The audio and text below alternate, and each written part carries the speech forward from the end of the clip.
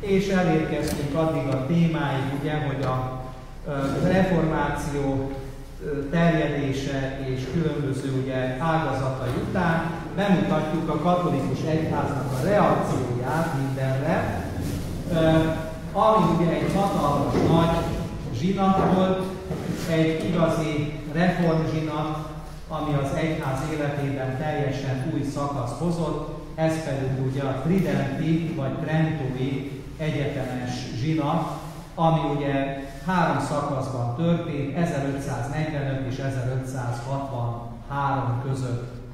Ugye ez volt a ö, római egyház 19. egyetemes zsinata. Na most ugye azt tudni kell, hogy eredetileg a protestánsok indítványozták, mert ugye, illetve azt szerették volna, hogy hát még mindig reményét látták annak, hogy valamiféle megegyezés, valamiféle ö, ö, hát, kompromisszum születik.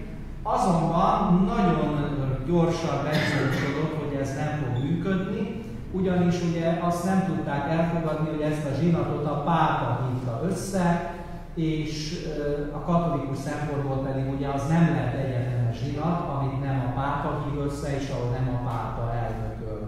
Tehát mindenképpen ez az együttműködés már az elején csődbe fulladt, és hát a célkitűzés az volt, hogy ugye tisztázni a katolikus tanítást dogmatikus erővel, tehát kötelezően és végérvényesen eldönteni minden vitás kérdést, és pedig különösen azokban a témákban, ahol ugye a protestánsok megtámadták a katolikus tanítást. Na most a helyszín az ö, ö, végül is kompromisszum révén dölt el, mivel ugye a pápa, az olaszok és a spanyolok Rómában szerették volna tartani a zsinatot, a császár, ugye a 5. Károly, Habsburg ugye német császár, valamelyik német városba szeretett volna menni, de hát végül a különböző háborús helyzetek miatt kompromisszumként egy Trento nevű, vagy németül Trient nevű városkába egyeztek meg, ami ugye pontosan a, a, az olasz és a német nyelvterület határán helyezkedik el Észak-Itáliában.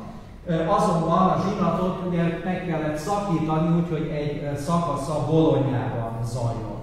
A 9. és a 10. ülésszak.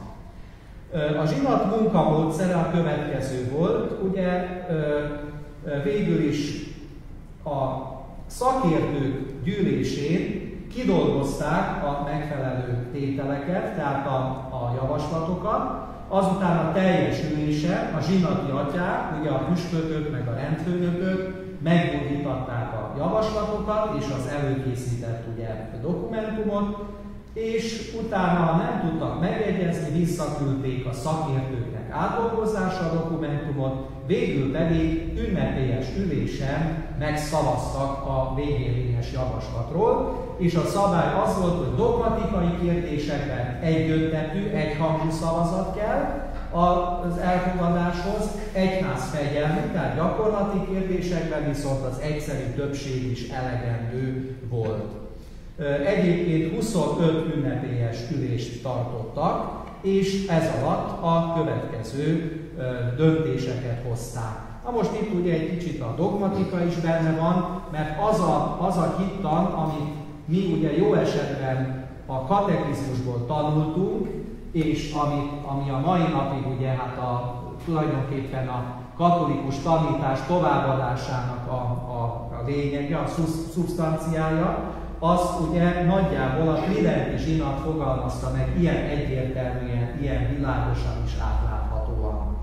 Először is ugye megállapodtak abban, hogy a Szentírásnak, illetve a hitünknek, a kinyilatkoztatásnak két forrása van, a Szentírás és a Szent Hagyomány, vagyis a tradíció. Ugye ezt azért kellett leszögezni, mert ugye a luterék a szóla scriptúrát hangsúlyozták, tehát csak is kizárólag a Szentírás, amely nem szorul rá arra, hogy bárki is magyarázza.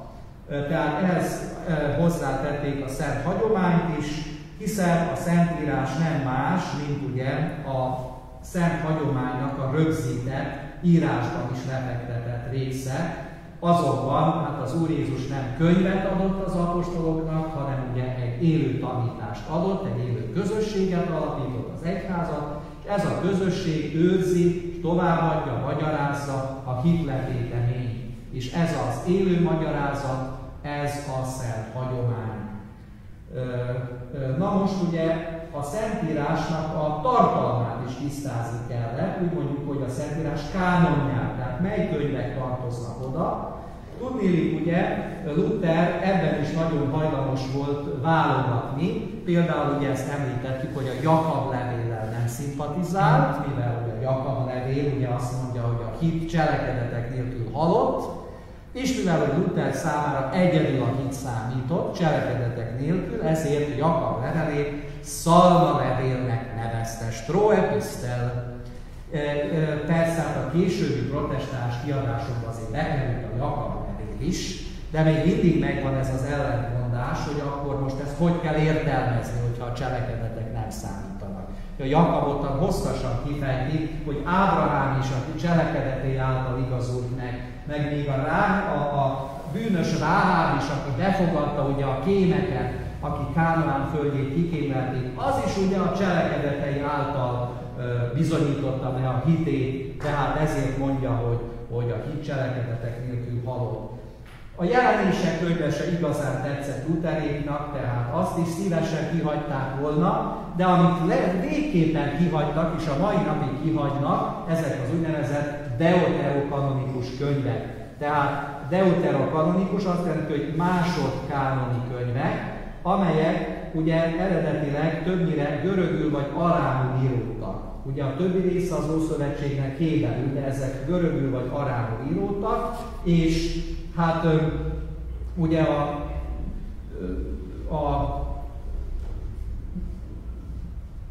diaszpora, tehát a szorvány zsidóság, aki ugye görögül olvasta a Szentírást, használta és ismerte ezeket a könyveket. A palesztinai zsidóság az egy másik gyűjteményhez ragaszkodott, ahol ezek a könyvek nem voltak benne, azonban kezdettől fogva a kereszténység elfogadta ezt a tágabb, szélesebb görög ugye, gyűjteményt, ahol benne vannak ezek a könyvek is, nevezetesen ugye ebben van a Tóbiás, a Judit, az Eszternek és a Dánielnek bizonyos részei, például az a nagyon szép Zsuzsanna történet, az ugye ebben van, ebben a deuterokámoni részben. És tudjuk, hogy az ókeresztény korban a freskókon és a katakombákon megjelenik a Zsuzsanna a farkasok között, ugye ezek a, a, a, a, a ellenségei, a vének, azok farkasok formájában vannak ábrázolva, és Zsuzsanna ugye kitárt karral az ég felé, ugye várja a mennyei segítséget, tehát az üldözött egyháznak a szimbóluma volt a Zsuzsanna. Szóval ismerték kezdettől ezt a történetet, és, és sugalmazó, sugalmazottnak tartották. Azután ugye még a deuterokanonikus könyvekhez tartozik ugye a két Makkabeus könyv, e, és a, és a bölcsesség továbbá Sirák fiának a könyve. Hát most ugye a Makkabeus könyvben az nem tetszett a Luteréknek valószínűleg, hogy ott az egyik nagyon fontos tanítás, hogy, hogy ugye szent és üdvös dolog a halottakért amit megint a Luterék tagadtak, mondván, hogy számukra ugye csak a hit számít, aki hisz, az ma mindjárt mennybe kerül, aki nem hisz, az elkározik, és tisztító tűzre nincs szükség, tehát imádkozni se kell a halottakért. Ugye, szóval ez egy eléggé kényelmes módszer, hogyha valami nem tetszik, akkor ugye a Szentírásból kihagyom ezeket a részeket, és akkor nem zavarják a lelkiismeretemet. No, minden esetre szóval ezek a, ezek a könyvek bekerültek egyértelműen, sőt, hát a zsinat azt is kimondta, hogy a római egyházban, bár ez ugye már a fegyelmi döntés, a hivatalos fordítás a Szentírásnak az a Szent Jeromos által készített vulgáta. Tehát minden katolikus fordítást a vulgátából kell csinálni, nem az eredeti héber vagy görög szövegekből, hanem a vulgátából. Tudni, mint kiderült utólag, ezt már mi tudjuk, hogy azok a úgynevezett eredeti szövegek, amikhez visszanyúlt Luther is, Ugye ezek sokkal későbbiek, tehát 8., 9., 10. századi változatok, és amiből Jeromos dolgozott, ugye a negyedik században azok viszont a 70-es fordításból, a Septuagintából származnak, amik ugye hát a Krisztus előtti században keletkeztek, tehát a vulgát az egy régebbi, eredeti szövegváltozatot tükröz, mint ezek az úgynevezett eredeti görög és héber szövegek. De amúgy lényegi különbség nincs köztük nyilván, azt, azt be tudjuk bizonyítani. No, szóval a Szentírásnak a fordítása is meg lett határozva. Ezen kívül ugye a következő kérdés az eredeti bűnnek a kérdése. Ugye Luthernek az volt az álláspontja, hogy az eredeti bűn teljesen szétrombolta az emberi természetet, abszolút ugye az ember képtelen jó cselekedni, és még a legjobb szándékú tette is halálos bűnök. Tehát az ember csak erre képes, az bűnbeesés után. Ezzel szemben a Tridenti zsinat kimondja, hogy az áteledő bűn roncsolta a természetünket, ugye mi történt, az értelmünk elhomályosult, az akaratok rosszra hajló lett, és az ösztöneink is fellázadtak ugye az értelem ellen. Tehát megtört ez a mi természetünk, de nem szűnt meg a szabad akaratunk. Ugye Luthernek volt egy műve, hogy a szolgai akaratról, tehát ez volt a tétele, hogy szabad akarat nincs. Márpedig ugye az ember az olyan, mint a lovaskocsi, aminek a nyeregében az ördög ül, és, és az ördög irányítja az embernek minden tettét. A Tridenti zsinat sokkal optimistában tekint az emberre, mert azt mondja, hogy van szabad akarat, az ember képes önerőből is bizonyos természetes jót tenni, csak ugye a kegyelem ahhoz kell, hogy ez a jó az örök életre is beszámítson. Érdemszerző legyen Isten szemében az örök életre. Továbbá Luther például az úgynevezett konkupiscenciát, ez ugye a rosszra, rossz hajlam, tehát a, a, a, a bűnös vágyaink vagy hajlamaink, hogy azok is halálos bűnök, ezzel szemben a Tridenti zsinat azt mondja, hogy ez a rossz hajlam, ez önmagában még nem bűn, hanem ugye akkor válik bűnné, hogyha tudva is akarva követem és cselekszem ennek alapján. No, aztán ugye a szentségekről például kimondta a Tridenti zsinat, hogy hét darab szentség van, amit mind a hetet Krisztus alapított, tehát legalábbis a lényegét tekintve, a lényegi elemeit nézve Krisztusra tekint, Krisztustól erednek, ugye, és, és föl is sorolta őket, azok, akiket ma is ismerünk, ugye, azt mondja, hogy a keresztség szükséges az üdvösséghez, és természetes vízzel kell keresztelni. Tehát akkor érvényes a keresztség, hogyha természetes vízzel történik, az Atya, a Fiú és a Szentlélek nevében, és ugye az egyház szándéka szerint, vagyis a keresztelőnek azt kell akarnia, amit az egyház tesz, amikor keresztel, és ugye azt is leszögezte, hogy akkor is érvényes a keresztség, hogyha eretnek keresztel. Tehát ugye ezért van az, hogy például a református, evangélikus, baptista keresztségek érvényesek, tehát nem kell az ilyen áttérőket újra megkeresztelni, hogyha katolikusok lesznek, mert hogy vízzel történt az Atya, Fiú, Szentlélek nevében, és alapvetően azért hát valódi keresztséget akartak ezzel ugye kiszolgáltatni, tehát ilyenkor csak egy befogadási szertartás és egy hitvallás tétel van, nem kell újra meg, megismételni a keresztséget. De más a kérdés például a mormonoknál, vagy a Jehova tanúinál, mert ugye ott nem hisznek a Szent Háromságban, tehát nem is keresztelnek a Szent Háromság nevében, vagyis ez nem érvényes keresztség. No, szóval visszatérve, a bérmálásról is kimondja, hogy az is Krisztus által alapított, saját igaz értelemben vett szentség, nem puszta ceremónia, nem puszta emberi kitalálás, mint ahogy ezt Luther tanította, és hogy rendes kiszolgáltatója a püspök. Persze a püspök delegálhatja, fölhatalmazást adhat a papoknak is, de rendesen a püspök szolgáltatja ki. Legalábbis a nyugati egyházban, a keleti egyházban a keresztelés végző pap is bérnálhat.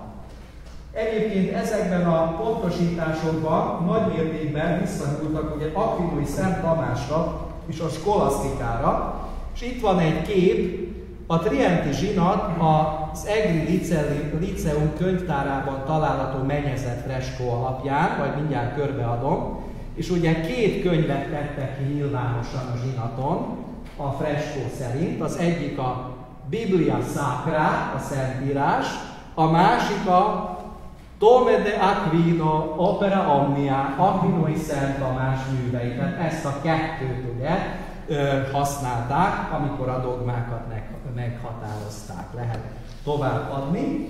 És ugye az oltári szentségről is nyilatkozni kellett, mert ugye nyilvánvaló az egyik legsúlyosabb probléma és tévedés a, ugye a reformációban az az volt, hogy a valóságos jelenlétet és a szennis áldozat jelenlét tagadták, ugye azt a múltkor is kifejtettük, hogy ugye Lutherék azt vallják, hogy Jézus jelen van testével és vérével, de csak az urvacsora vétel pillanatában, tehát utána már nem lehet eltenni a tabernákulumba, nem lehet imádni, mert hogy az már, már, már nem Krisztus teste. És ugye nem úgy, hogy a kenyér és a bor átváltozna, hanem a kenyér és a bor megmarad szépen, csak ugye mellette megjelenik Krisztus teste és vére. Tehát nem transz, nem átlényegülés, hanem konszubstanciáció. Együtt van a két lényeg. És hát ugye Calvin az még tovább ment, mert ő azt mondta, hogy ezt szimbolikusan kell érteni, hogy az én testem és az én vérem, tudni, Krisztus ugye csak lelkileg van jelen, lelkileg részesülnek Krisztus erejében azok, akik hittel járulnak az Úr vacsorához.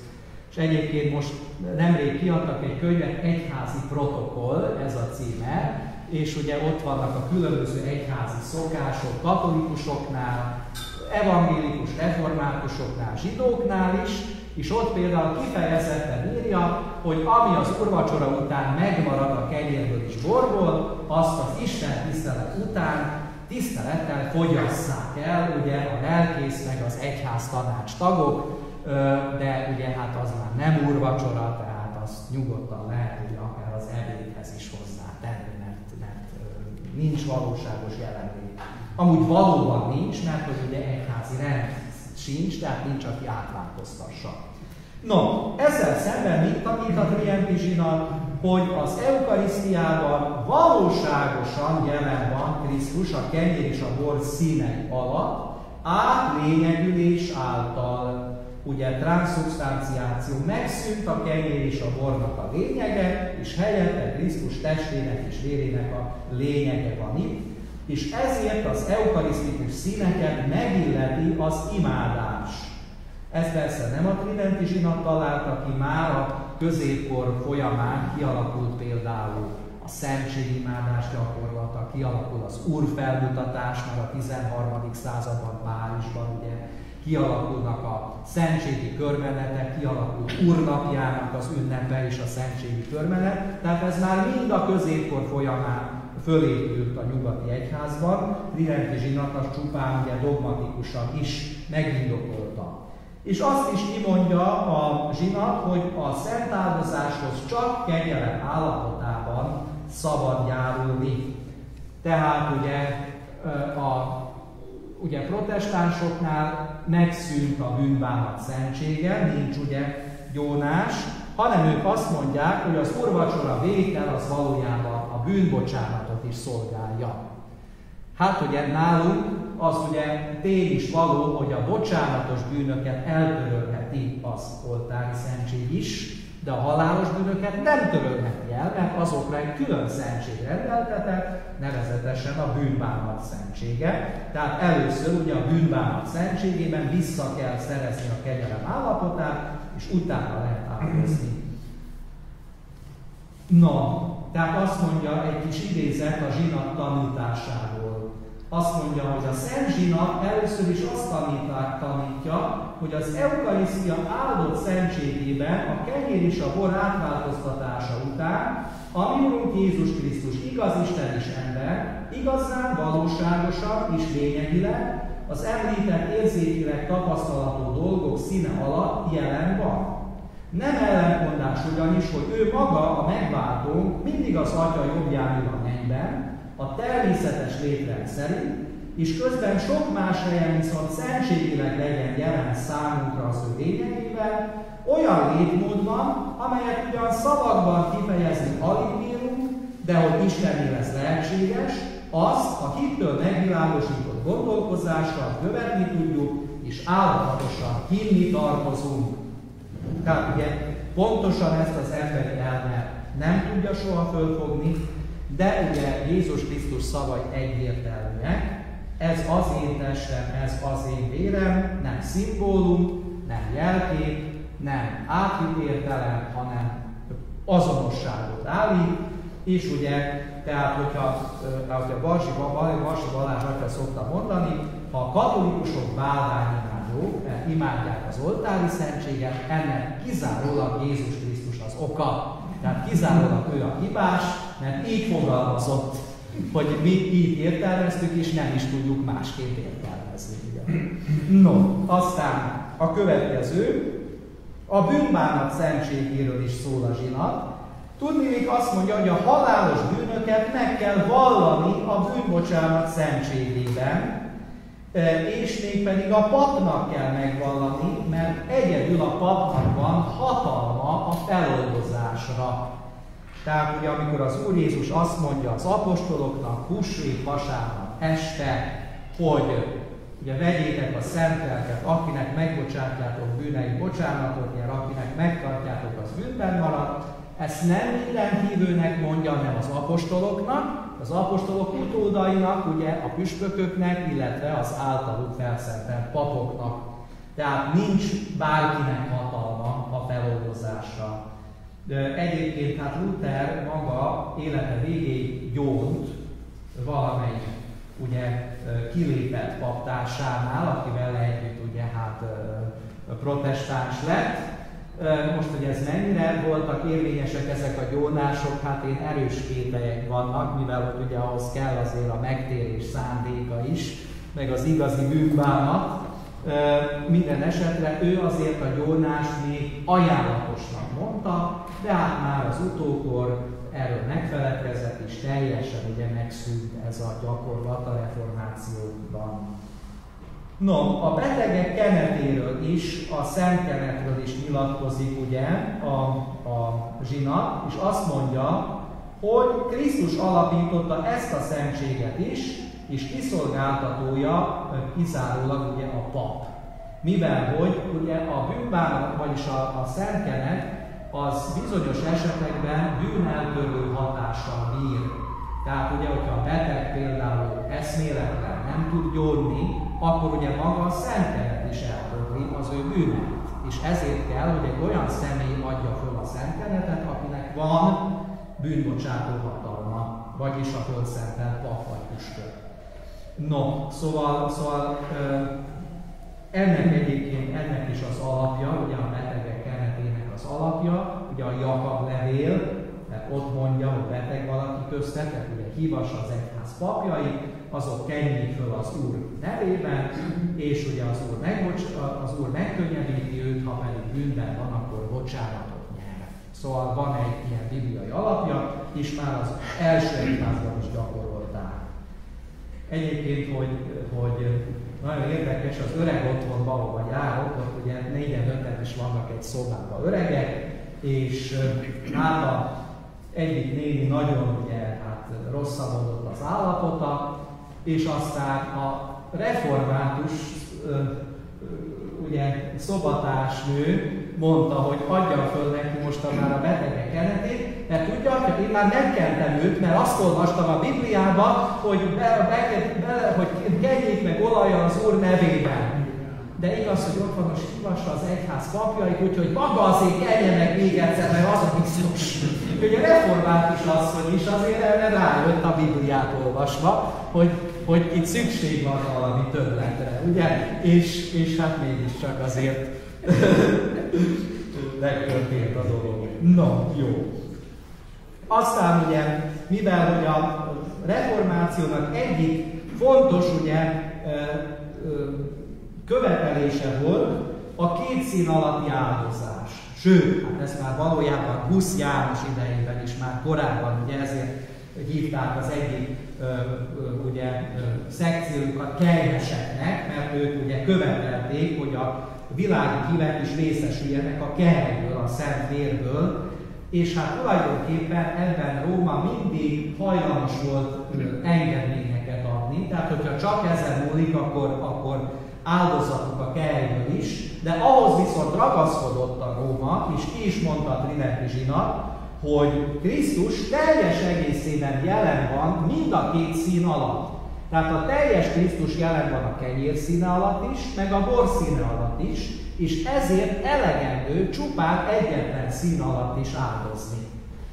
Én a mai napig találkoztam olyan hívővel, ugye hát az eléggé köztudott, hogy én az új rítusban mindig két szín alatt áldoztatok, hogy ne kelljen ugye kézbe adni a szentséget, és hát ez sokaknak tetszik, mert hát mégiscsak ugye kifejeződnek teljesen, de olyan hívővel is találkoztam, aki viszont ö, teljesen kiakadt, amikor egyszer nem két szín alatt kapta az oltári szentséget, mert hogy ő nem hiszi azt, hogy csupán a kenyér színében is ott van a teljes Krisztus. Na ez már ugye formális eretnekség, mert szembe megy a Tridenti zsinat tanításával.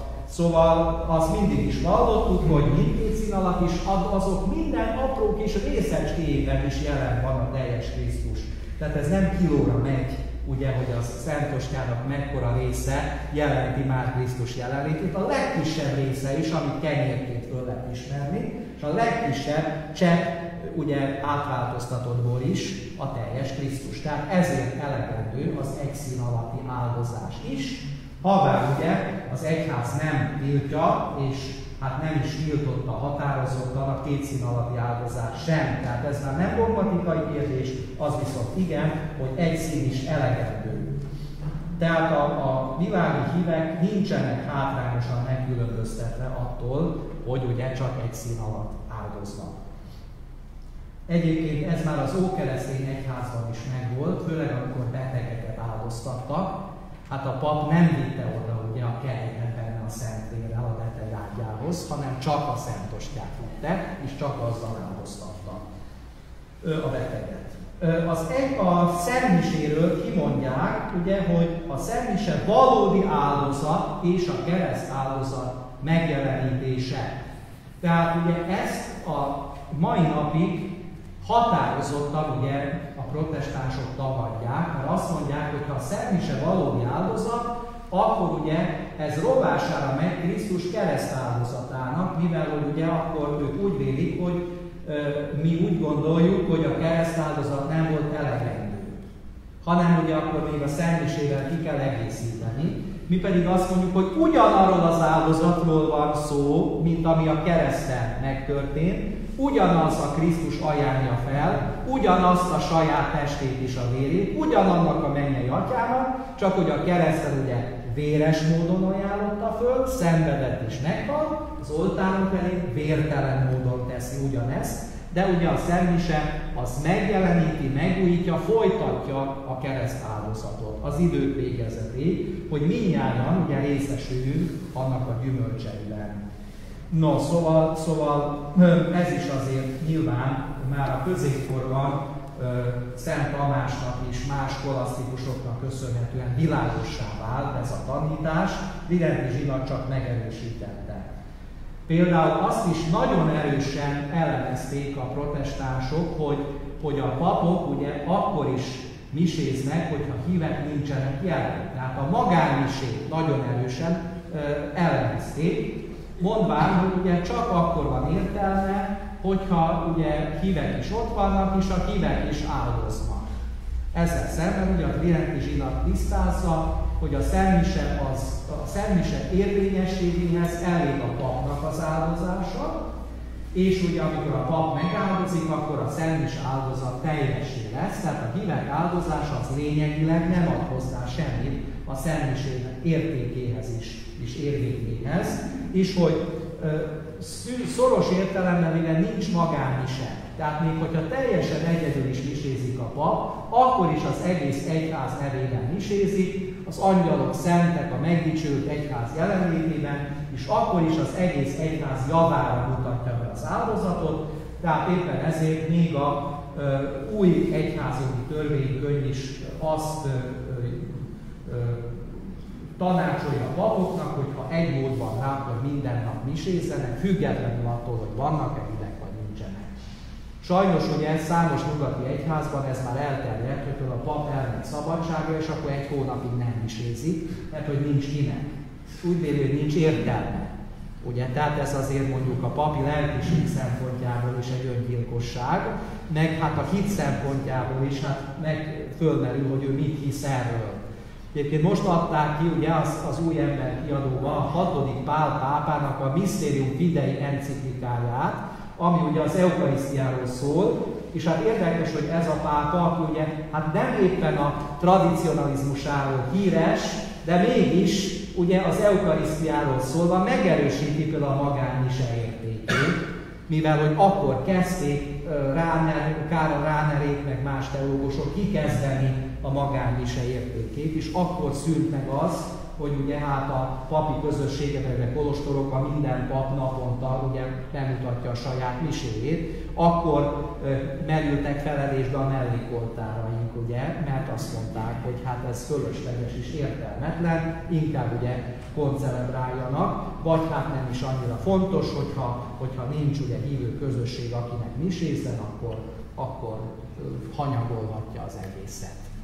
No, szóval, szóval ezek fontos dolgok. Aztán kimondja például azt, hogy az egyházi rendről, hogy az is egy szentség, amit Krisztus alapított, csak a felszentelteknek van papi hatalmuk, tehát nem úgy van, ahogy a protestánsok mondják, hogy ugye a keresztség által minden hívő egyúttal pappá szentelődik is. Tehát ugye, hogyha a lelkész beteg, akkor Marini nyugodtan megtarthatja az Isten tiszteletet, és úrvacsorát is oszthat, mert hogy a keresztségben ő fölszentelt pap lett. És semmivel se nagyobb papa lelkész, mert hogy ugye hát ugyanabban a keresztségben részesült, mint a Marinéni. Tehát a lelkész avatás az nem papszentelés, az a közösségnek egyfajta imája és áldása, a ugye kiválasztott lelkészre, de semmiféle fölszentelés nem történik. Érdekes, hogy amikor Lutherék ugye elindították a mozgalmukat, akkor voltak püspökök is, akik protestánsok lettek, de ezek a püspökök nem szenteltek senkit, sem püspökké, sem papá, mert hogy ők nem hittek már többet az egyházi rendszerségében, nem akarták, ugye, hogy ez a hit elterjedjen, hogy a kézrátétel szükséges a papi hatalom átadásához. Tehát ők tudatosan megszakították az apostoli jogfolytonosságot a reformáció egyházaiban. Egy kicsit más volt a helyzet némileg Észak-Európában, erről már beszéltünk, hogy ott ugye számos ugye külsőséget is megtartottak. A mai napig a püspök asszony ugye teljes püspöki díszbe beöltözik, püspök süvegbe, pásztorkodva, viseruhában, mindenbe. De, és ugye hát egy időben ott azért katolikus püspökök szenteltek tovább, Azonban ugye a szentelés érvényességéhez azért az is kell, hogy szándéka legyen a szentelő püspöknek, hogy kiszolgáltassa ugye az egyházi rendszertségét, hogy valódi papot szentelje, és hát ez a szándék mondjuk protestáns püspököknél nagyon erősen ugye megkérdőjeleződik, mivel hogy a protestáns tanítás ezt tagadja, tehát megszakad ott is a, a érvényes szenteléseknek a sorozata, és arra, arra is kitér a zsinat, hogy az egyházi hierarchia az Krisztus rendelése. Tehát főleg ugye ez a hármas fokozat, hogy püspök, pap, diakónus, ez ugye Krisztus rendelése, tehát az egyház ezt nem törölheti el. Protestáns egyházakban ott alapvetően demokrácia van, és alapvetően egyenlőség van, tehát ugye a püspök is csupán egy bizonyos időszakra megválasztott vezető, akinek semmi plusz ugye hatalma nincs, mint egy egyszerű hívőnek. Tehát csupán gyakorlati szempontból kell, hogy valaki ugye vezesse azt a közösséget, de ugye igazi hierarchia nincs. Katolikus egyházban van, és ezt mi Krisztusra vezetjük vissza.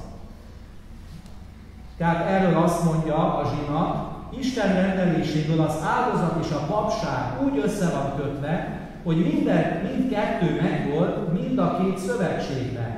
Ha tehát az új szövetségben az oltári szentség szent áldozatát, a katolikus egyház az Úr rendelés, rendelése szerint, mint látható áldozatot kapta meg, akkor azt is hallani kell, hogy abban egy új, látható külső papság létezik, amelyben a régi papság átalakul. Igazolja a Szentírás, hogy ezt mindig tanította a katolikus egyház hagyománya, hogy ugyanaz az üdvözítő Urunk alapította ezt is, és az apostoloknak és utódaiknak a papságban átadta a hatalmat teste és léle átváltoztatására, felajánlására és kiosztására, valamint a bűnök megbocsátására vagy megtartására is. Tehát ugye az Ószövetségben volt látható papság, ugyanúgy van az Új Szövetségben is egy külön ugye, réteg, akiket ugye fölszentel Isten a papságra, és ugye ezeknek valódi lelki hatalmuk van, ami a többi hívőnek nincs, legfőképpen hogy az átváltoztatásra és a bűnök föloldozására. A házasságról is nyilatkozott a zsinat, hát ugye azt már sok helyen, többféleképpen kifejtettem, ugye, hogy Luther nem csak, hogy a házasságot nem tartotta szentségnek, és kimondta, hogy az egy tisztán evilági dolog, pusztán evilági szerződés, az állam hatáskörébe tartozik, hanem ráadásul még a több nejűséget is, sőt elvileg a vállást is engedélyezte, és hát ugye igazán a házastársi hűséget se követelte meg, sem saját magától, sem másoktól. Ugye, tehát a házasság az nála nincs túl ugye, magas áron, viszont a Tridenti zsinat kimondja, hogy a házasság is szentség, Krisztus által alapított szentség, amely ugye fölbonthatatlan, a több pedig tilos. Hát a házasságnak a fölbonthatatlanságát azt ugye úgy értelmezik a protestánsok, mert hogy nekik is van Bibliájuk, és ott is az van írva, hogy amit az Isten összekötött, az ember ne választha szét. De ők úgy értelmezik, hogy ha az ember mégis szétválaszt, akkor szét van válasz. Nagyon sajnálom, hát ugye bűnös az ember, gyarló, megpróbáltuk, nem ment, de ne gyötörjük az embereket, hogy most akkor nem lehet újabb kapcsolatot létesíteni, nincs. És ugye ezt próbálják most a katolikus egyházban is elterjeszteni. Katolikus egyház mindig úgy vallotta, hogy az ember ne válassza szét, az nem csak egy ilyen jáboró haj, hogy ne csináljátok már, az olyan csúnya, hanem ugye, hogy ez egy tényállás, hogy nincs hatalma szétválasztani, mert Isten kötötte össze, akkor embernek hogy lenne hatalma azt visszacsinálni, amit az Isten már egyszer ugye megtett, megtett és megteremtett. No, aztán például ugye hát a protestantizmusnak az is egy jellemzője, hogy nagyon-nagyon ellene van a szerzetességnek, a szerzetesi fogadalomnak, és különösképpen a szüzességi fogadalomnak, mert hogy az ember a maga bűnös állapotában nem képes ilyet megtartani, vagy, vagy egy, nem becsületes ilyen dolgokat fogadni, hogy az Úr szerintük ugye a Bibliáról sehol sincs erről szó, ha bár ugye hát a, a Szent Pálapostól is több helyen azért mondja, hogy ő azt szeretné, már csak mindenki úgy élne, mint ő, ő pedig ugye nőtlen volt, tehát ő cölepsz volt, meg hát azért az Úr Jézus is több helyen mondja, ugye, hogy hát, hogy hát ugye vannak, akik, akik eunuhok, ugye, az Isten országáért, akik ezt vállalják az Isten országáért, akinek van füle, az hallja meg. Hmm, szóval meg, meg azt mondja, ugye, hogy, hogy ez egy mennyei állapot. Tehát az angyalok az égben ugye nem nősül, amikor megkérdezik, hogy az az asszony, akinek két férje volt a mennyben, kinek lesz a felesége, azt mondja, hogy a mennyben nem házasodnak, nem nősülnek, nem mennek férhez, úgy élnek, mint az angyalok a mennyben. És ugye a szűzi állapot, Isten országáért áll a szűzi állapot, az már itt a Földön egyfajta mennyei, angyali létmód, és ezért mondja a Tridenti zsinat, hogy ez önmagában magasabb rendű, mint a házasság. Ez nem azt jelenti, hogy most én pusztán attól, hogy szerzetes vagyok, meg hogy van egy ilyen fogadalmam, hogy én automatikusan szentebb vagyok az összes házasnál. Nem ezt jelenti. Nagyon sokszor így félreértelmezik, mert ha én rossz szerzetes vagyok, rossz pap vagyok, akkor sokkal szigorúbb ítélet alá esek, mint a világiak, akiknek nincs ilyen fogadalmuk. Ellenben önmagában, mint állapot, tehát az, hogyha valaki Isten országáért lemond a házasság nagy és szent javáról, egy még nagyobb jó érdekében, ez mint állapot tökéletesebb és magasabb rendű. Szóval, szóval ezt azért manapság nagyon sokan tagadják, és azt mondják, hogy tulajdonképpen mind a kettő egyformán jó, Isten előtt egyformán kedves. Szubjektív értelemben igen, mert ugye a szent házas az lehet éppen olyan szent és kedves Istennek, mint a szent ugye Cölepsz is, viszont mint állapot magasabb rendünk ugye a Isten országáért vállalt szüzesség. No, és aztán a utolsó szesszióban, a 25. ülésszakban a túlvilágról nyilatkozik a zsinat, ugye mivel hogy a protestánsok tagadták a tisztító hely létezését, tagadták a, a halottakért való imáknak a szükségességét, és a halottakért felajánlott búcsúkat, holott már ugye az ókeresztény korból vannak bizonyítékai, hogy igenis imádkoztak a halottakért az egyházatják korában is. És sőt már a zsidóságban is a makaberusok könyve, amit az előbb idéztem. Tehát kimondja a Tridenti zsinat, hogy van tisztítóhely, és a Földön élő hívek segíthetik a tisztuló lelkeket, mégpedig ugye imáikkal és búcsú nyeréssel. Hát erről se sokat beszélnek. Most nemrég a tizedik osztályban az egyik fiú, hát éppen szóba került egy kicsit a tisztító hely, és azt mondja, hogy és hát ott szenvednek az emberek? Hát ő soha nem hallotta, hogy ott szenved. Mondom, pont az a lényeg, hogy igenis szenvednek, és pont ez volt az oka, hogy ugye ennyire fölértékelődött a búcsúk szerepe ugye a reformáció előtti korban, mert hogy minden igyekezetünkkel azon voltak, hogy csökkentsék és rövidítsék ugye az elhúnyt szeretteiknek a szenvedését a tisztító tűzben. Idéztem is azt a római múzeumot, amit a Csabáig meg is látogattak most, a Museo del Purgatorio, ahol ugye vannak ilyen, ilyen, ilyen emlékek, hogy például egy könyv, amelyet ugye érintett egy ilyen tisztító tűzbe szenvedő lélek, és ilyen fekete, ugye kiégett uh, nyoma maradt a kezének. Tehát, hogy nyomatékosítsa, hogy imádkozzatok értem, mert nagyon szenvedek, és nagyon sürgősen szükségem van a ti támogatásotokra. Ugye, szóval, szóval ez egy nagyon fontos apostolkodás is, hogy valaki a tisztító tűzben szenvedő lelkekért imádkozik, búcsúkat ajánl és szellemiséget is. Na, aztán jónak mondta a Tridenti zsinat a szentek tiszteletét is, amit ugye teljesen bálványimádásnak ugye tartottak a protestánsok, Ugyanígy helyes dolog a szentek szobrainak, képeinek is a tisztelete, és az erekék tisztelete is.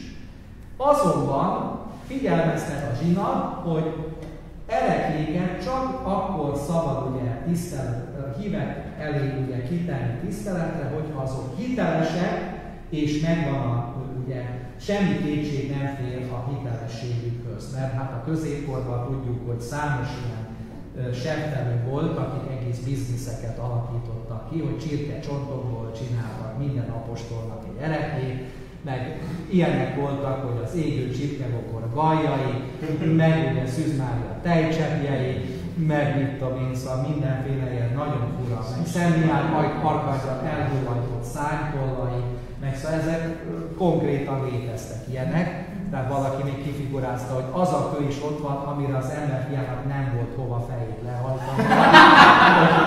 meg hasonló, meg, a, meg az egyiptomi sötétség, ami Egyiptomra borult, ugye, amikor Izrael fiai raboskodtak, szóval azért nagyon ezek már viccek, de az előbbiek már nem. Szóval, hogy ilyen, ilyen Éva almája, meg hasonló című erekéket azért ne tiszteljük ugye könnyelműen, hanem győződjünk meg az eredetéről és a hitelességéről, és ugyanúgy az új csodákat is. Tehát a különböző könnyező képeket, stb. egyéb dolgokat. Először ugye a illetékes egyházi hatóság látomásokat, kinyilatkoztatásokat vizsgálja meg, és csak utána legyen kultusza, hogyha ugye bebizonyosodott, hogy tényleg Istentől származik és hiteles. No, aztán hát a reformhatározatok is érdekesek. Tudnélik, a, ugye a zsinatnak nem csak az volt a célja, hogy a hitnek a tanítását egyértelműen rögzíteni, hanem ugye elindítani konkrétan az egyház állapotának a megújulását. Az első határozat az volt, hogy a Szentírást a vulgártag fordítás szerint ugye ki kell adni. A zsinat után egy későbbi időpontban, és ugye, hát ez meg is történt, ö, aztán hát voltak később revíziók, javítások, de lényegében a mai napig ugye van egy neovulgáta elnevezésű fordítás, ami a mai napig irányadónak számít minden katolikus fordításra. Aztán ugye a vallásos könyvek, főleg a teológiai könyveken egyébként ugye mindig püspöki engedélyhez kötötte, tehát azoknak a nyomtatása és kiadása mindig ugye püspöki engedéllyel történik, ez az a bizonyos nihilopszát, tehát hogy nincs semmi kifogás, amit a cenzor ugye megad, ami után megvizsgálta a könyvet, és itt van az imprimátur, hogy nyomtassék, nyomtassák ki. Ugye itt van ez egy hittankönyv, és mindjárt látszik, hogy Neil Obstát, dr. Endre Gál, Budapest 2011. szeptember 14, cenzor deputátus, tehát ez a Gál Endre, ez egy kijelölt cenzor, és alatta van, hogy imprimátur, primas Hungárie, Péter Cardinalis Erdő, tehát ő adta meg ugye a, a parancsot, hogy nyomtassák ki, mert nincs benne semmi kifogásolni való tehát a mai korszkorban egy kicsit azért ez föllazult, tehát sok mindent kiadnak és, és nem kérnek rá egyházi engedélyt, pedig legalább ugye a hivatalos teológiakönyvek, tankönyvek, stb. imakönyvek, azok kell, hogy egy ilyen imprimáturral történjenek, vagyis hát a kiadásuk rendelkezzenek. Aztán ilyet rendelt fel a Tridenti zsinat, hogy egy püspök csak egy egyházmegyét irányíthat. Hát számunkra ugye ez nagyon normális és természetes, de abban a korban előszeretettel ugye halmozták az egyházmegyéket. És hát legtöbben, majd nem sokára szó lesz Boromeu Szent Károlyról, ugye hát a, ő nagybácsia pápa volt, negyedik ö, ö, Pius néven, és hát ugye 15 évesen a kis Károlyt kinevezte bíborossá, és egyúttal Milánó érsekké. De Károly ekkor még nem volt pappá szentelve, és ez ágába sem volt, hanem ugye ez úgy működött, hogy a jövedelmet azt ugye ő kapta meg, viszont a tényleges püspöki teendőket egy segédpüspök végezte, ugye, aki ott ült Milánóban, és hát dolgozott, a javadalmat pedig a nemes, ugye, úrfi gyűjtötte be. És utána, amikor már 20 éves lett, akkor még három másik apátságot is kapott, Károly, ami megint csak nem azt jelentette, hogy most ő szerzetes lett, hanem ott szépen az ő ugye, palotájában ülve megkapta ugye a apátságok jövedelmét, és az egyik szerzetes ugye kommentált, illetve az egyik szerzetes az ugye tulajdonképpen végezte az apáti teendőket.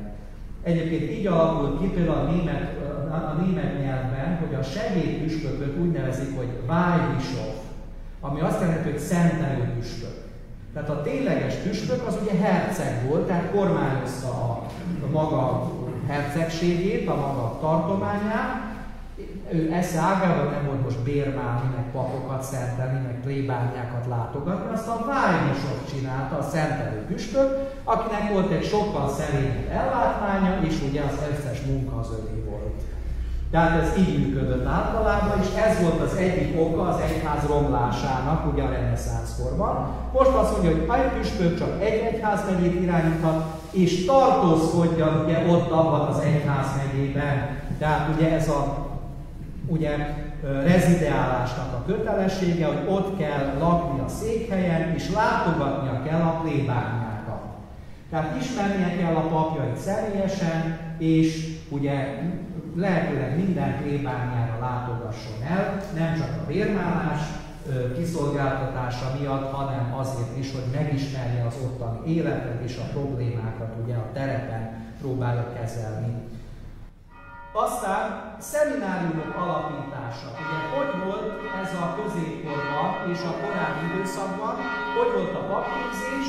Hát, hogyha volt egy nagyon tehetséges, szépremű minisztráns, akkor a plébánosi maga mellé vette, megtanította a technikai termőket, hogy kell misézni, hogy kell keresztelni, mesterni és ugye, amikor elérte a megfelelő kort ez a minisztráns, és a arra járt, akkor felszentelte. Ugye nálunk Remontrejeknél is vannak ilyen szentek, ráadásul szent vértanúk, akik ünnepnek papok, hogy a plébános, a Remontrei plébános maga mellé vette a szegény kisfiút, ugye, és kinevelt belőle egy papot. És ugye felszentelték, és ott maradt a öreg pap mellett, amíg az ugye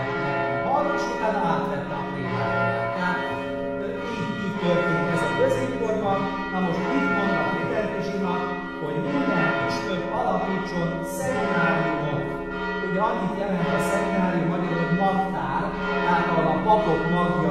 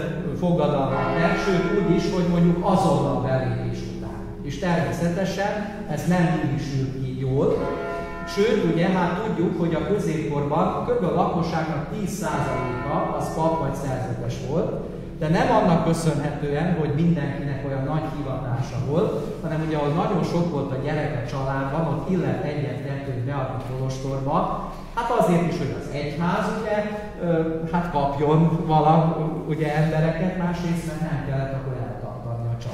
Tehát az egyház eltartotta őket, és hát egy ilyen apáca volt valószínűleg Luthernek a kedves felesége is, Bora Katalin, ugye ciszter nővér, aki hát így, így erőszakkal dugták be őt nagyon fiatalon a kolostorba, aztán hát később ugye menekülni vágyott onnan, és hát Luther doktor megszánta az ő szükségét.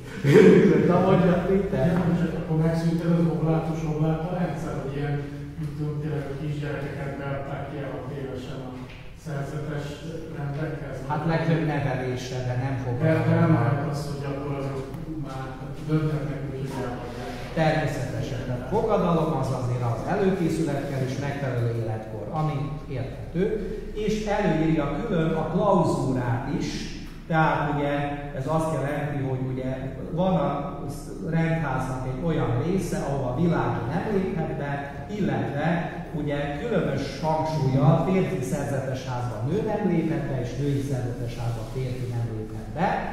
Ugye egyébként Pannonhalmán egyszer egy turista föltett a kérdés, hogy ez a klauzúra biztos valami nagyon fontos egyházi személy, amikor ekkora lakosztálya van. Mindenütt az van, hogy klauzúra. Ugye? Szent klauzúra. Hát szerzem, igen. Ugye aztán később például, amikor jelentkeznek az első aktív rendek, például az angol kisasszonyok, ugye ez egy külön probléma, hogy ezek úgy akarnak apácák lenni, hogy nincsenek állandóan a kolostorban, hanem kimennek. Szerintem az irgalmas nővéreknél is ugyanez volt, hogy ez külön kellett ugye aztán egy kicsit átgondolni ezt, hogy hát vannak olyanok, akiknek nem csak az a hivatás, hogy ne zárva imádkozzanak, hanem a világban is szolgálatot akarnak teljesíteni. Úgyhogy Egyébként a nálunk Remonteneknél olyan klauz, ilyen belső klauzóra is adnak, hogy egymás szobájába soha nem, nem lépünk be, még az előjáró sem. Tehát csak az, aki ott lakik, mondjuk ez. Most is? Most is, igen, ezt betartjuk. Ami hát elsősorban ugye, hát mit tudom én, a privát szféra tisztelete, de mit tudom én, hát szóval ez egy ilyen hagyomány. Na, aztán a következő, a házasságkötés, ugye a középkorban volt ilyen, hogy titkos házasság. Tehát nagyon beleszerettek egymásba, a Jani meg a Mari, és ugye hát szépen a, a, a ugye csillagos éjszakában egymásnak ugye örök hűséget ígérnek, és ez is szentségi érvényes házasságnak számított. Na de ki fogja ezt bizonyítani?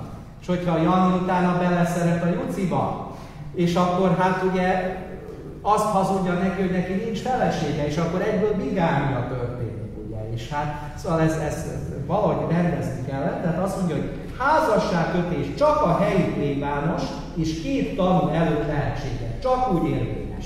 Ezt úgy hívjuk, hogy tridenti forma. A mai napig ez így érvényes. Plébános ugye megbízhat más is, hogy eskessen, például egy papot vagy egy káplán, de a he, azon a plébánián csak a helyi plébános jogosult eskedni, és mindig kell két tanú, hogy a házasságnak a nyilvánossága ugye biztosítva legyen. Meg azt hiszem, ki is kell hirdetni, hogy valaki tud el. Hát nyilván ma ilyen, a, de régen ez praktikus volt, nem nagyon mozogtak egy faluban, hogy tudták, hogy ennek van egy felesége a szomszéd. Igen, a hirdetés ugye, még a Szabadkai Egyházmegyében a mai napig van a nem három ugyan, de egy hirdetés az van. És ugye az volt a célja, hogy hát például ezt is valaki jelentse, hogyha tud arról, hogy már van felesége, vagy van valami fajta akadály köztük. Egyébként a papszentelés előtt is szokás kiirdetni, hogy mit tudnak az illetőről, ugye, hogy, hogy a hívő nép, aki őt ismeri, alkalmasnak tartja őt a papságra például. Ez a mai napig létező gyakorlat. És ugye, hát a Egyébként ebből egy kis bonyodalom adódott, mert ugye nem minden uralkodó engedte meg, hogy a tridenti határozatokat kihirdessék az ő területén. Tehát voltak olyan területek, ahol kihirdették ezt a támetszi dekrétumot, ott ugye érvénybe lépett, hogy csak az a házasság érvényes, ami a helyi plébános is két tanú előtt köttete, és voltak olyan területek, ahol az uralkodó nem engedte, ezek a non területek, ahol érvényes volt bármiféle házasság, úgyis, ahogy a középkorban csinálták. Tehát ugye ezt még külön ugye ö, egészen ugye az újkorig, amikor mindenütt a tridenti dekrétumok érvényesültek, tehát a legújabb úgy értem, nagyon bonyodalmas volt megállapítani egy házasság érvényességét, mert azt is figyelembe kellett venni, hogy ahol kötötték az a terület támeci vagy nem támeci terület. Kiirdették, vagy nem hirdették ki ezt a döntést. Meg, meg a franciák is, mikor be akarták vezetni, hogy kell a szülői beleegyezés, mert az érvénytelenítő legalábbis egyházügyi akadálya. Kicsit olyan, mint az oblátus, hogy a, ha valakit így beadtak, akkor kellett a szülőnek, meg az apának a beleegyezés, hogy eladja, mert tehát, hogy az emberi szabad akaratot nem lehet, ugye, hogy a felnőtt Igen. élet beleegyezésre szükség van, és a két személyre tartozik. Ugye ezt is kimondták, hogy nem, nem akadály az, hogyha megszünteti valaki a pásztorlányt, vagy maximum kizárhat egy családi örökségből a dolgok, de nem mondhatja, hogy nem, nem mellett vétót vagy érvényt. Már a nőrablás az a mai napig akadály. Már nem, nem, nem, nem, elrabolja meg, nem, nem, nem, nem, belejön, csak az meg, megszöktött, mind a ketten akarják. Igen, az szülők más dolog. De akkor is azt mondjuk, hogy a nőrablás történt, akkor először az jövelő alá szabadon kell bocsátani, és hogyha szabad állapotában is igent mond, akkor megköthet de ez ugye azért érdekes, mert ez a, a, a két fél szolgáltatja ki egymást. Igen. Ezek érvényes házasságok voltak, ezek a, a szabad ég alatt a évfélben, ez közepén, mert ők kellenek egyedül az szentségérvényességéhez. Csak aztán ugye azt, a, egyébként a jogi eljárásban a mai napig a személyes tabu. Tehát a, a, amit mond, az a legfontosabb igen, forrás. Igen. Viszont ugye, hogy a, a kánoni formát nem tartják be, akkor az nem is érvényes.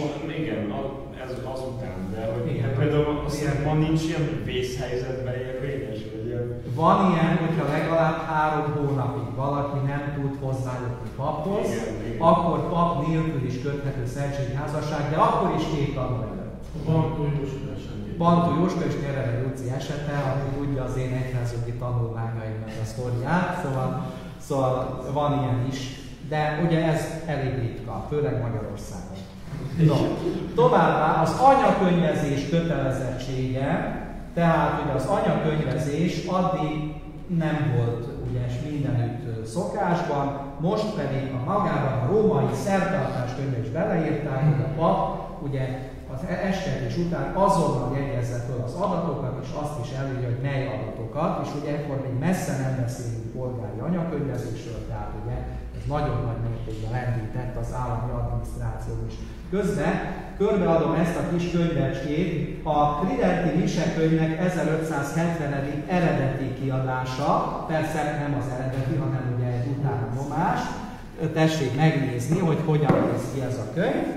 És ugye továbbá a Tridenti zsinat eltörölte az alamizsnás búcsút, tehát azt a fajta búcsút, amit Luther, ami Luther annyira zavarta, joggal egyébként, hogy ugye tehát a búcsú cédulákat akkor ugye pénzért lehet ugye megvásárolni, ami ugye, ahogy mondtuk, nem a bűnbocsánat megvásárlása, hanem ugye a búcsút az egyház bizonyos jótétemény fejébe engedélyezi, tehát a gyónás után fennmaradt ugye ideiglenes büntetések elengedését, és hát ez a jótétemény lehetett olyan is, hogy valaki hozzájárul például a Szent Péter Bazilika építéséhez egy bizonyos pénzösszeggel. Na most ez az alapistás búcsú, ami önmagában még nem volna rossz, mert valaki lehet, hogy oda megy személyesen építeni a bazilikát, a másik nem tud oda menni, hanem pénzt küld, hogy valakit fizessenek ott, ugye munkásként. De mivel hogy ez a alamizsnás búcsú sok gonosz nyeréskedéshez adott alkalmat, és ugye megint csak bizniszeltek vele, és nagyon ugye rossz volt a, a egésznek a marketingje és a kül ö, ö, alakja, ezért azt mondták, hogy semmiféle pénzadomány ö, nem hoz nem kötődhet búcsú. Zsinat utáni teendők az, hogy ugye ki kell adni minél előbb a latin szentírása vulgátának a hiteles kiadását, össze kell állítani az indexet, a tiltott könyvek jegyzékét, tehát, hogy egy katolikus hívő mely könyveket nem olvashat, mert azok ugye a hitére veszélyesek. Össze ki kell adni a liturgikus könyveket, a Missale Románumot, ugye 1570-ben, és a Breviarium Románumot, és ki kell adni a római katekizmus, tehát egy olyan hittankönyvet, ami az egész egyházban ugye mérvadó hittankönyv lesz, és minden egyéb helyi hittankönyvet annak alapján kell elkészíteni. Továbbá összeállították a trienti hitvallást, na most az, aki ugye már részt vett ilyenen, hogy valaki ugye katolizál, tehát ugye például protestánsból katolikussá lesz, és ugye ezen a bizonyos ugye, befogadási szertartáson részt vesz a régi ritus szerint, az hallotta már a hitvallást, mert mi azt használjuk, ugye? Az van leírva a szertartáskönyvben, ami ugye először ott van a nicai hitvallás, utána kitér a szentmisére, a szentségekre, a pápára, meg egy csomó ilyen katolikus uh, igazságra, amit a Trienti zsinat megállapított. No, szóval ezek azok a dolgok, amik a zsinat után megmaradtak. Még egy apró kis megjegyzés a misekönyvhöz. Ugye általában azt szokták mondani, hogy ugye hát a úgynevezett Tridenti mise, az ugye 400 éves, mert ugye a Tridenti zsinat ö, léptette életbe, és én mindig nagyon hevesen szoktam tiltakozni. Tudni, mit csináltam ilyen kis zsinat? Semmiféle misekönyvet nem kezdtek el ők ottan újra szerkeszteni, hanem egyszerűen ugye a középkori sokfajta változatból, mert minden egyházmegyének és minden szerzetesennek megvolt a saját helyi változata, ugye kiemelték a római pápai udvarnak a változatát, a kúria változatát, ami már a 13. századtól úgy, ahogy van, megvolt, és a perencesek terjesztették egyébként, mert ugye a ferencesek azok, nem volt, azok központosítva voltak, tehát az egész világon ugye egységes irányítás alatt álltak, és mindenhova ezt a római misekönyvet vitték, tehát ők voltak az élharcosai a Trienti ugye, misekönyv használatának, és ugye tehát ezt a misekönyvet egy kicsit átfésülve és újra kiadva az egész egyházra kiterjesztette a zsinat, de úgy, hogy ahol voltak 200 évesnél régebbi ritusok, helyi liturgiák, azt továbbra is érvényben hagyta, és nem kötelezte a helyeket annak a liturgiának az elhagyására. Tehát ez azt jelenti, hogy például mi magyarok simán maradhatunk volna az Esztergomi ritus mellett, mert az jóval régebbi volt, mint 200 év. Miért nem maradtunk? Azért, mert akkor itt éppen török veszély volt, nagyon drága volt ugye a helyi könyvek nyomtatása, és a Pázmán Péter úgy gondolta, hogy akkor inkább Rómából ugye behozunk olcsóbb ugye, római könyveket, és ezeket ugye fogjuk használni ezután. Praktikus okoknál fogva történt ez. Ugyanez a válasz egyébként, hogy Pannonhalmán miért nem imádkozzák a Bencé Zsolozsmát, hanem egy, egy 20. századi nevezett Maurinus Zsolozsmát, Azért, mert ugye hát az egyik római, vagyis Pannonhalmi apát éppen Rómába járva, hát nézte, hogy milyen kiadású zsolozsmák vannak, és nézte, hogy melyik a leg, ugye, hát kedvező árfekvésű, és a Maurius zsolozsban volt az, és azt mondta, hogy na akkor ebből rendelek egy csomót, és ez került át Pannonhalmába, és kiszorította ugye a sokkal ősi és sokkal teljesebb és értékesebb római, vagyis bencés, ez monasztikus zsolozsmán. Egyébként ugye például számos szerzetes rend az továbbra is ugye megmaradt a maga rítusa mellett, például megmaradt a mi Bremontrei rítusunk is, megmaradt a kartózi, aki a domonkosoké nem utolsó sorban egészen a mai napig, a kármelitáké is megmaradt. De a sarutlalok már a római. A sarutlalok azok ugye tudatosan a római választották. De ugye például hát a, ugye a helyiek rítusok közül megmaradt ugye Borromeo Szent Károlynak az érdeme, különösen az, hogy a Milánói főegyház megyében megmaradt az ambrozián rítus. Tehát ő ragaszkodott ahhoz, hogy ez egy olyan értékes helyi hagyomány, ezt meg kell tartani. És a pápa igazat adott neki. Ugyanúgy ugye a Toledóban és Toledo környékén a Mozara rítus, vagy ugye, vagy ugye vizigót rítusnak is nevezik, Portugáliában a brágai rítus megmaradt, nem Prága, mert a Csehországban Péter Prága, vagy a brágai rítus, tehát ezek a helyi rítusok megmaradtak, de általánosan elterjedt ez a fajta tridenti változat, ami, ahogy mondom, sokkal régebbi, mint a tridenti zsinat, és nem, nem a zsinat találta ki, nem a zsinat szerkesztette, hanem ugye egy már létező változatot egyetemesen engedélyeztek. Egyébként ez a könyv, a, ami, ami most megy körbe, ugye hát érdekes, hogy a naptára sokkal szegényebb, mint a mai ugye régiritus naptára, mert egy csomó szentet hogy kipurgáltak belőle, kiszedtek belőle, de például egyes helyeken azt látták, hogy nincs benne Pádovai Szent Antal. Hát bocsánat, akkor ki van benne? Hát az egyik legismertebb és megtiszteltebb szent, hát azt nem lehet kihagyni. Nincs benne például a Szűz Mária bemutatásának az ünnepe. Egy csomó ilyet elhagytak, ami közismert volt is, hát, hát az emberek meg, megszokták, ragaszkodtak hozzá, hogy utólag szépen visszacserkésztek egy csomó ünnepet, hogy mégiscsak ugye ne volt rákoztassanak senki. Vagy például, no, szóval, szóval ilyen, ilyen dolgokat azért, azért csinál. Vagy például ugye a középkorban majdnem minden misének volt saját szekvenciája, az Alleluja után egy ilyen verses, stróf, strófás ének, ami ugye az ünnep titkát kifejti, költői ugye fogalmazással, hát ezeket is a Trienti zsinat ötre csökkentette, tehát öt van belőlük, ugye a húsvéti, a pünkösdi, a halottas és a, és a Szűz Mária, fájdalmas szűzanyának a szekvenciája, meg az Úrnak. Aztán persze Akvinum Szent Tamásnak a gyönyörű költeménye, ugye a Dicsét Sion üdvözítő, ez az öt maradt meg. Hát aztán ugye persze a legújabb liturgikus reform az ötből csak kettőt hagyott meg, de azt is sok helyen elhagyják, de azért, mivel hogy a nálunk a Szent Mihályban ugye nagyon középkor irányultság van, ezért ott egy csomó szekvenciát föltámasztottak, és a gyakorlatban ugye ezt használjuk.